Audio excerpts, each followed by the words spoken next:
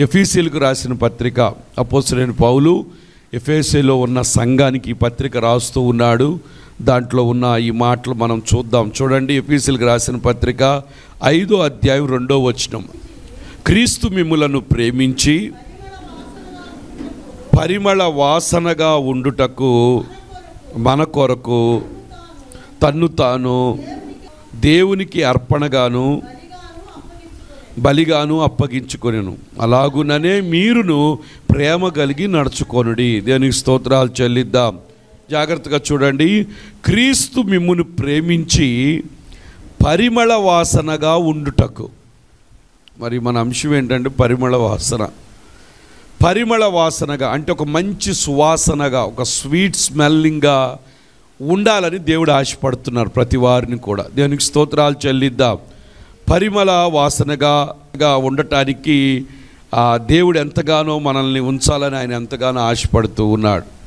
దేవుని బిడలైన మనము ఆయన రక్తం చేత కడగబడిన మనం మనము ఆయన రక్తం చేత విమోచించబడి కనబడి కొనబడిన బిడలమైన మనం ఎలాగుండాలంట?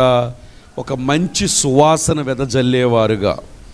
ఏంటి ఆ సువాసన అంటే ప్రభుని యొక్క ప్రభు యొక్క ఏం చెప్పాలంటే ప్రభు యొక్క గుణగణాలు ప్రభు యొక్క లక్షణాలు కలిగి మనం జీవించాలి. చాలామంది ఆ విధంగా జీవించకుండా దేవునికి పరిమళ వాసనగా అనేకులకు సువాసనగా ఉండకుండా చాలామంది జీవిస్తున్నారు. చూడండి ఒకసారి రెండో కొరిందులకు రాసిన పత్రిక రెండో అధ్యాయము పద్నాలుగు పచ్చిన చూద్దాం. ఏంటి ఆ సువాసన మనం చూస్తే ఇక్కడ తెలుస్తూ ఉంది. అపోసిన పౌలు రెండో కొరిందిలో రాస్తున్నాడు మా ద్వారా ప్రతి స్థలమందు క్రీస్తును గూర్చిన జ్ఞానము యొక్క సువాసన చూసారా? ఏంటి పరిమళ వాసన అంటే క్రీస్తును గూర్చిన జ్ఞానము యొక్క సువాసన. అంటే మనం ఎలాగుండాలి? క్రీస్తు జ్ఞానంతో మనం నింపబడాలి. క్రీస్తు జ్ఞానము యొక్క సువాసన ఏం చేయాలి? అందరికీ కూడా తెలియపడు. ఉదాహరణ ఇప్పుడు మనకు అనారోగ్యం ఉందనుకోండి అప్పుడు మనం ఏం క్రీస్తుని గురించిన జ్ఞానం మాట ఏంటి? ఆయన పొందిన దెబ్బల చేత నాకేం కలుగుతుంది? అది సువాసన. ఎప్పుడైతే ఆ మాట పలికినప్పుడు ఆ మాటలో ఉన్న శక్తి నీ శరీరంలో పనిచేసి నీకు ఆరోగ్యం ఇవ్వగానే ఖచ్చితంగా నువ్వు చెప్పే సాక్ష్యం ఎలాగుంటుందో తెలుసా? అనేకులకు ఒక సువాసన ఇచ్చేట్లుగా అనేకులకి ఒక మంచి వార్తగా అనేకులకి ఎంతో వినటానికి వినసొంపుగా ప్రభువు నమ్ముకున్నారు ప్రభు కార్యం. మొన్న మన వైఎస్ఆర్ కాలనీలో మందిరంలో ఉన్నారు ఒక విశ్వబ్రాహ్మణుల నుంచి మన సంఘానికి వస్తున్నారు. ఆ కుర్రోడి పేరు పవను. ఆ కుర్రోడికి మరి కళ్ళు మరి యాక్సిడెంట్ అయిందో మొత్తానికి కళ్ళు కళ్ళు కనపడవని చెప్పి చెప్పారు.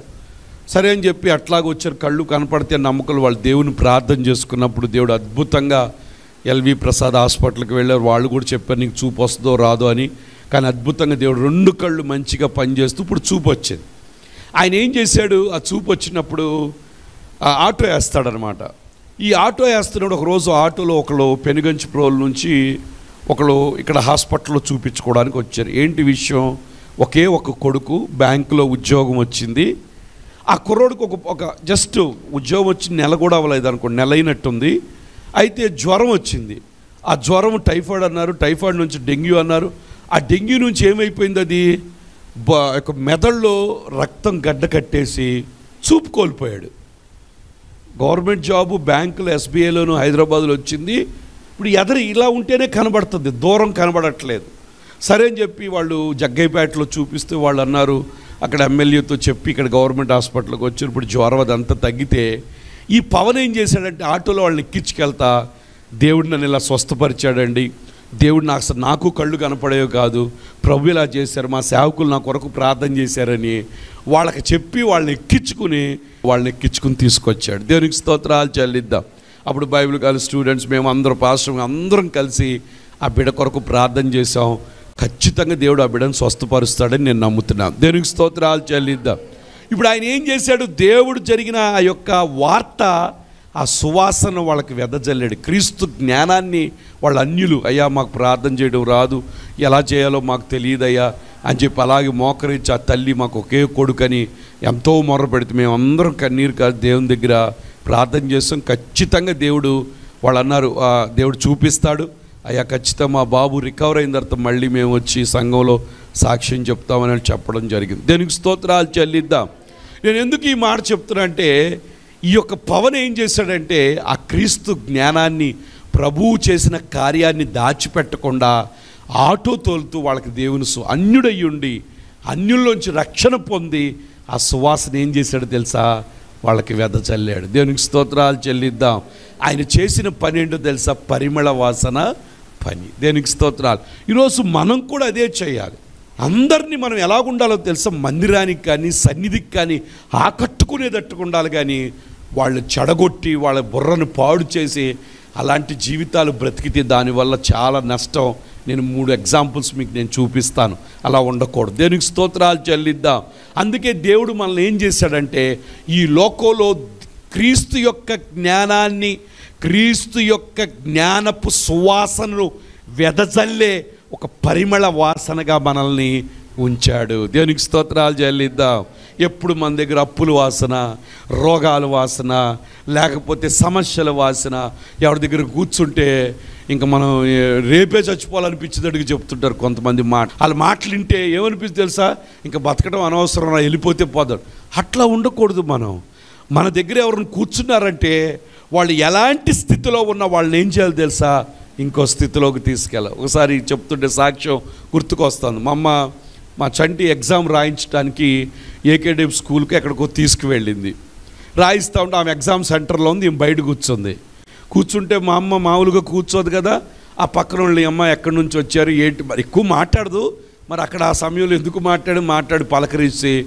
వాళ్ళతో అలా డిస్కషన్ చేస్తూ ఉంటే వాళ్ళ బాధలు సమస్యలు అన్నీ చెప్తూ ఎవండి మేమైతే చచ్చిపోవాలనుకుంటున్నాం ముందు కూడా కొనుక్కుని ఇంట్లో పెట్టుకున్నాం చచ్చిపోదాం అనుకుంటున్నామంటే దేవుని సువార్తను ప్రకటించి వాళ్ళంతా చెప్పి వాళ్ళని ఏం చేశారు తెలుసా? ఆ చావులోంచి తప్పించడానికి ఒక దారి ఏర్పడ ఇప్పుడు ఆ సందర్భంలో ఆమె ఏం చేసింది అక్కడ? దేవుని యొక్క పరిమళ వాసన క్రీస్తు జ్ఞానమును గుర్చిన సువాసన ఏం చేసింది? వాళ్ళకి చెప్పగానే చనిపోయే వాళ్ళు కూడా ఏమయ్యారో తెలుసా? బ్రతకాలని ఒక ఆశ వాళ్ళల్లో పుట్టింది. దేవునికి స్తోత్రాలు చెల్లిద్దాం. ప్రభు బ్రత చనిపోవడం దేవుని చిత్తం కాదు. నువ్వు బ్రతుకుతావు. ప్రభు నీకు సహాయం చేస్తాడు. ప్రభు నిన్ను లేవనెత్తుతాడు. ప్రభు నిన్ను నిలబెడతాడు. ఈ ప్రభు అసాధ్యమైంది ఏదీ లేదని ఎప్పుడు కూడా ఎదుటి వాళ్ళని బలపరిచే మాటలు చెప్పాలి కానీ కృంగదీసే మాటలు ఎప్పుడు కూడా ఎవ్వరు కూడా చెప్పకూడదు. కృంగదీసే మాటలు చెప్తున్నావంటే నువ్వు పరిమళ వాసన కాదు నువ్వు దెయ్యం వాసన కొడుతున్నావు. దేవునికి స్తోత్రాలు చెల్లిద్దాం.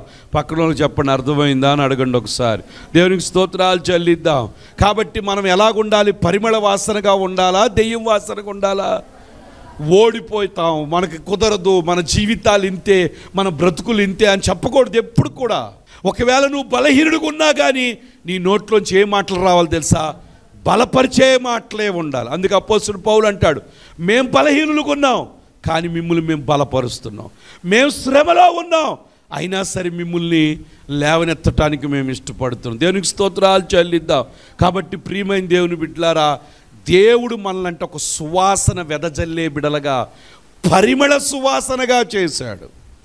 పరిమళసు ఒక స్వీట్ స్మెల్లింగ్ అనమాట మనలోంచి క్రీస్తు యొక్క జ్ఞానము గుర్చిన సువాసన రావాలి. క్రీస్తు యొక్క జ్ఞానం ఉండాలి. అనారోగ్యం వచ్చిందా? కృంగిపోకూడదు. ఆర్థిక ఇబ్బందులు ఉన్నాయా? కృంగిపోకూడదు. లేకపోతే పిల్లల మాట వింటలేదా? కృంగిపోకూడదు. పిల్లల భయంకరమైన పరిస్థితులు చేస్తున్నా కృంగిపోకూడదు. భర్త పరిస్థితి బాగోలేదా? కృంగిపోకూడదు. నిజంగా దేవుని జ్ఞానం నీలో ఉంటే నువ్వు ఎలాగుండాలో తెలుసా? నాలో ఉన్నవాడు ఈ పరిస్థితులు కలిగిస్తున్న వాడు కన్నా పరిస్థితులు ఈ విధంగా నాకు వ్యతిరేకంగా చేస్తున్నవాడు వాడికన్నా నాలో గొప్పవాడు ఉన్నాడు కాబట్టి నేను ధైర్యంగా ఉంటాను. జయము నాదే అన్నట్లుగా మనం ఏం చేయాలి తెలుసా? బ్రతకాలి. దేవునికి స్తోత్రాలు చెల్లిద్దాం. లూయా అందుకే అక్కడ ఉంది మా ద్వారా ప్రతి స్థలమందు క్రీస్తును గూర్చిన జ్ఞానము యొక్క సువాసను కనపరుచుచు. ఆయన ఎందు మమ్మను ఎల్లప్పుడూ విజయోత్సాహముతో ఊరేగించుచున్న దేవునికి స్తోత్రం. చూడండి పదిహేను వచ్చిన చాలా మంచిది. రక్షింపబడి వారి పట్లను నశింపబడి వారి పట్లను మేము దేవునికి క్రీస్తు సువాసనై ఉన్నాము. చూసావా? రక్షింపబడి వారి పట్ల నశించిపోయే వారి పట్ల మేము దేవునికి ఎలాగున్నామంట? క్రీస్తు సువాసనగా ఉన్నాం. మనం ఎలాగుండాలో తెలుసా? మనలోంచి ఏసయ్య సువాసన అనే మాటకు అర్థం ఏంటంటే కూర్చున్న నుంచున్న నీ నోట్లోంచి ఏం మాటలు రావాలి? ఏసయ్య మాటలే రావాలి. ఏసయ్య పాటలే రావాలి. విశ్వాసపు వాక్కులే పలకాలి. అవిశ్వాస వాక్కులు పలకటానికి వీల్లేదు ఏది సాధ్యం కాదని చెప్పటానికి వీల్లేదు సమత్సము సాధ్యమే. నన్ను బలపరచువా అని ఎందు నేను సమస్తము చేయగలను. దేవునికి స్తోత్రాలు చెల్లిద్దాం. ఆ జ్ఞానం సువాసన నీకు తెలియాలి. దేవుడు నిన్నేదో ఊరికే పెట్టలేదు. ఒక పరిమళ వాసనగా ఆ వాక్యం చదివితే మీరు ఆ ఎఫ్ఎసి ఐదు రెండు లేవు తెలుసా? దేవుడు మిమ్మల్ని ప్రేమించి పరిమళ వాసనగా ఉండుటకు మన కొరకు తన్ను తానే దేవునికి అర్పణగా బలిగా అర్పించుకున్నాడు. ఆయన అర్పణగా బలిగా ఎందుకు అయిపోయాడో తెలుసా? నిన్ను సువాసనగా మార్చడానికి. ఒకప్పుడు నువ్వు పాపంతో ఉన్నావు ఒకప్పుడు రోగంతో ఉన్నావు ఒకప్పుడు కొదువులతో ఉన్నావు ఒకప్పుడు లోటుతో ఉన్నావు ఒకప్పుడు లేమిలో ఉన్నావు ఒకప్పుడు దిక్కు మాలిన స్థితిలో ఉన్నావు దిక్కు లేని స్థితిలో ఉన్నావు. అటువంటి వారను మనల్ని ఏం చేశాడు తెలుసా ఆయన? పరిమళ వాసనగా మార్చడానికి ఆయన బలిగా అర్పించబడ్డాడు. దేవునికి స్తోత్రాలు చెల్లిద్దా. ఈరోజు ఒక ప్రశ్న నువ్వే వాసన కొడుతున్నావు? నీ నోట్లోంచి ఓడిపోయే మాటలు వస్తున్నాయా? రోగపు మాటలు వస్తున్నాయా? నీ నోట్లో నుంచి నీ ఇంట్లో నుంచి ఏ వాసన వస్తుంది? క్రీస్తు సువాసన వస్తుందా? ఈరోజు చాలామంది దేవుని బిడల అయ్యుండి కూడా ఎప్పుడు కూడా దేవుని వ్యతిరేకపు మాటలే మాట్లాడతారు కానీ ఒక్కటి ప్రభు కార్యాలు చేసే విధముగా నోట్లోంచి మాటలు రావు. అనారోగ్యం ఉంది అవును. వయసు పెరిగితే అనారోగ్యం వస్తుంది. లేకపోతే ఏదో ప్ర ఎలాగైనా వస్తుంది. వచ్చినప్పుడు నీలోంచి రావాల్సిన సువాసన ఏంటో తెలుసా? ఆయన పొందిన దెబ్బల చేత నాకేం కలుగుతుంది? స్వస్థత కలుగుతుంది. నేను ఆయన బిడ్డను ఆయన సొత్తును. నా కొరకు బలైన దేవుడు నాకు సహాయం చేయడా? అందుకే ఆయన అన్నాడు వస్త్రమును గూర్చి తిండి కొరకు మీరు ఆలోచించొద్దు. ఆకాశ పక్షులు చూడండి అవి విత్తవు కొయ్యవు వాటిని పోషించు దేవుడు మిమ్మల్ని పోషించలేడు. ఈరోజు కొంతమంది దేవుని బిడ్డలు ఎలాంటిగా అయిపోయారంటే కొంతమంది అయితే నమ్మకం లేనివారుగా విశ్వాసం లేనివారుగా అసలు దేవుడు ఏమి పట్టించుకోనాడుగా ఆయన వదిలేసేటట్లుగా అనుకుంటున్నారు. ఆయన విడువడు నిన్ను ఎడబాయడని రాయబడు దేనికి స్తోత్రాలు చెల్లిద్దా. నా ప్రభు నాతో ఉన్నాడు. బ్రతుకుట క్రీస్తే బ్రతికితే ఏసై సువాసన నాలో నుంచి. సాతాను సొత్తును కాదు నేను. నా కొరకు బలి అయి నన్ను పరిమళ వాసనగా చేసిన నా ఏసై కొరకే నేను అటువంటి సువాసన నేను వెదజల్లుతాను నీ చెమటను పోగొట్టడానికి అందరూ డియోడ్రెంట్లు అలాగే సెంట్లు కొట్టుకుంటూ ఉంటారు. మనకు కావాల్సింది ఈ శరీరానికి అది అవసరం. కానీ పరలోకాల్లోకి నువ్వు అడుగు పెట్టాలంటే నీలోంచి క్రీస్తు జ్ఞానమును కూర్చిన సువాసన బయటికి రావాలి. దేవునికి స్తోత్రాలు చెల్లిద్దాం. Hallelujah hallelujah hallelujah. అందుకన్న రక్షింపు వాడి వారికి నశించిపోయే వారికి దేవునికి మేము ఎలాగున్నామో తెలుసా? క్రీస్తు సువాసనగా మేము ఉన్నాం. అందరికీ మనం ఎలాగుండాలో తెలుసా? క్రీస్తు సువాసనగా మనం ఉండాలి. దేనికి స్తోత్రాలు చెల్లిద్దాం? అందుకే ఆయన ఏం చేశాడో తెలుసా? మొదటి కోరింది ఆరు ఇరవై చూడండి. మొదటి కొరింది ఆరు ఇరవై. మొదటి కొరింది ఆరు ఇరవై. విలువ పెట్టి కొనబడిన వారు గనుక మీ దేహముతో దేవుణ్ణి మహిమపరచు. మీరు ఎలా కొనబడ్డారు? మీరు ఎలా కొనబడ్డారు? ఎవరు కొనుక్కున్నారు మిమ్మల్ని? పక్కవాడు చెప్పండి. ఏసయ్య మిమ్మల్ని కొనుక్కున్నాడని చెప్పండి. ఇప్పుడు మీరు ఎవరి దొడ్లో ఉన్నారు? ఎవరి దొడ్లో ఉన్నారు? ఏసై దొడ్లో ఉంటే అపవాది మిమ్మల్ని పట్టుకోగలుగుద్దా? అదే క్రీస్తు సువాసన జ్ఞానం కావాలి. నేను ఎవరి చేతుల్లో ఉన్నాను? అరచేతుల్లో చెక్కుకున్నాను నేను. ఆయన వెలపెట్టి నిన్ను కొనుక్కున్నాడు. ఆయన రక్తాన్ని వెలగా చెల్లించి నిన్ను నా సొత్తు నా బిడ్డ అని ఆయన కొనుక్కున్నాడు. కాబట్టి ఆయన కొనుక్కున్న బిడ్డ నువ్వు ఎలాగుండాలో తెలుసా? నీ దేహంతో దేవుణ్ణి ఏం చేయాలి? అంటే నీ మాటలు ఎలాగుండాలి? దేవుని మహిమపరిచే మాటలు. నీ చేతులు ఎలాగుండాలి? దేవుని మహిమపరిచే చేతులు. నీ కాళ్ళు ఎలాగుండాలి? దేవుని మహిమపరిచే కాళ్ళు. అంటే నీ శరీరం అంతా కూడా ఎవరి కొరకు పనిచేయాలి? ఏసై కొరకే పనిచేయాలి. మీ దేహములతో దేవుణ్ణి ఏం చేయాలంట? ఈరోజు దేహాలతో మన ఆలోచనలతో తలంపుతో అన్నీ కూడా ప్రభుని కొరకే మనం. మహింపరచాలి. దేనికి స్తోత్రాలు చెల్లిద్దాం. హలేలుయా హలేలుయా మనం మనం సొత్తు కాదు. ఒక వాక్యం మీకు నేను చూపిస్తాను చూడండి. ఇర్మియా గ్రంథం పదమూడు పదకొండు అనుకోండి చూడండి ఒక్కసారి.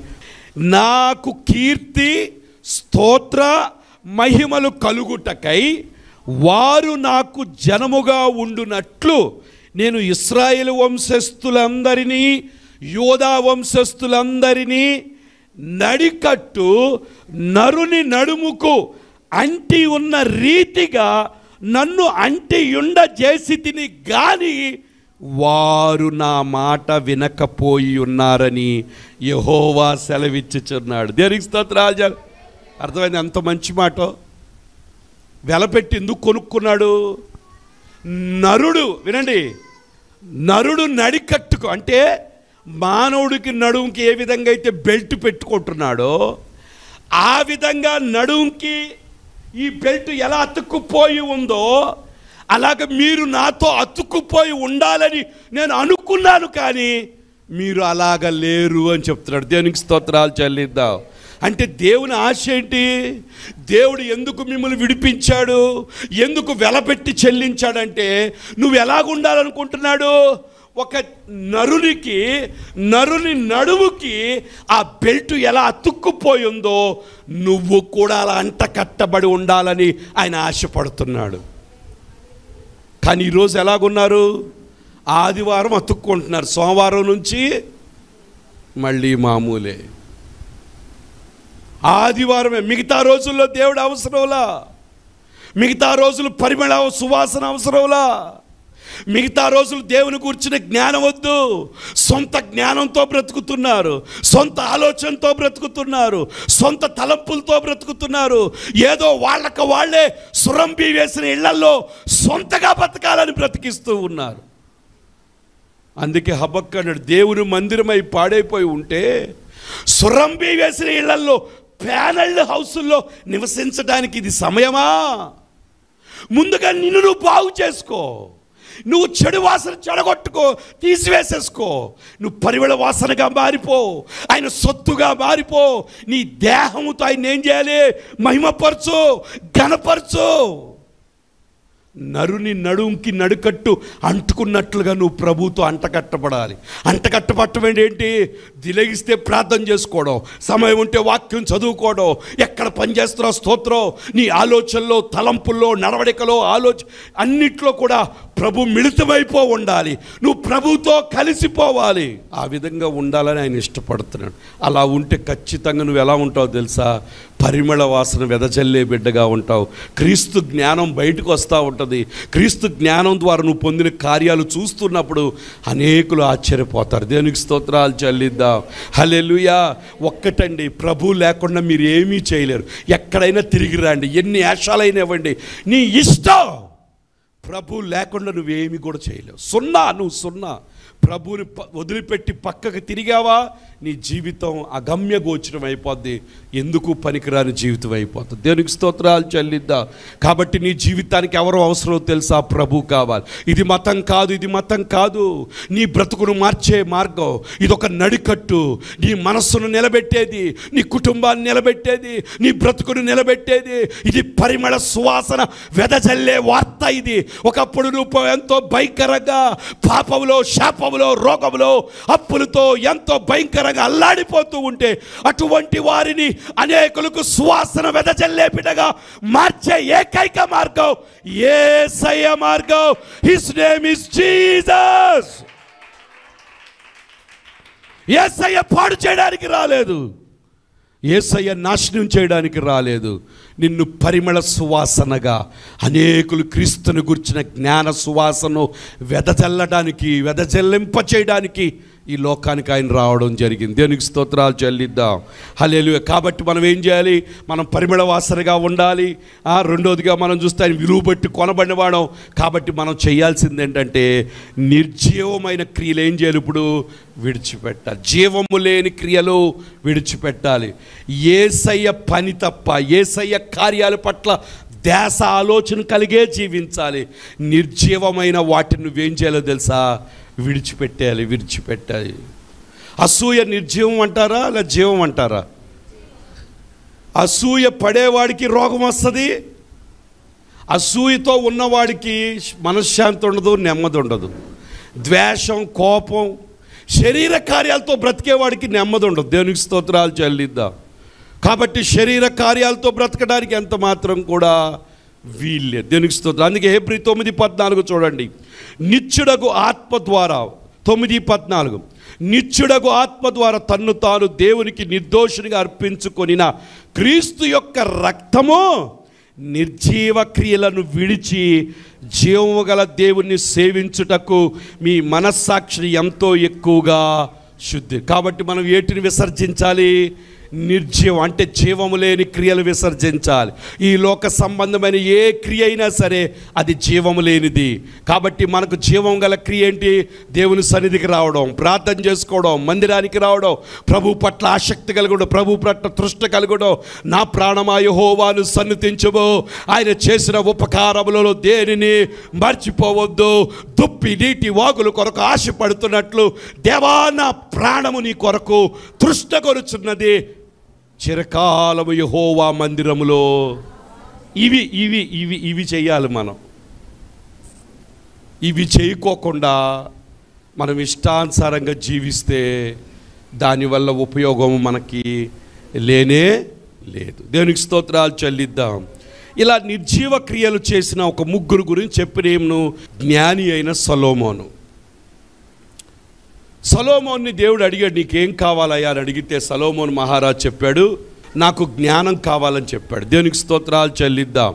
హలే లూయా హలే లూయా నాకేం కావాలన్నాడు?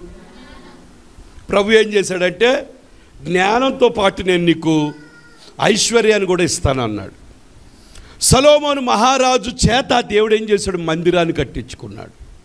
ఏం చేశాడు దేవుడు? ఎరుషులేములో గొప్ప మందిరాన్ని బంగారంతో పొదిగి అప్పటి వరకు మందిరం లేదు దావీదు కడతానన్నాడు.